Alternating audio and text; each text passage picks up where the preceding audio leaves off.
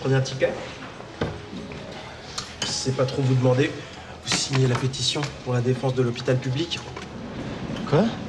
Oui, parce que si ça continue comme ça, on va finir avec des salles communes de 150 lits et des infirmières qui vident les pots de chambre, comme au Moyen-Âge. Euh, je sais pas si je vais rester, c'est vrai, parce que je sais pas si c'est l'odeur, là. Je vous parle même pas du petit personnel. Hein.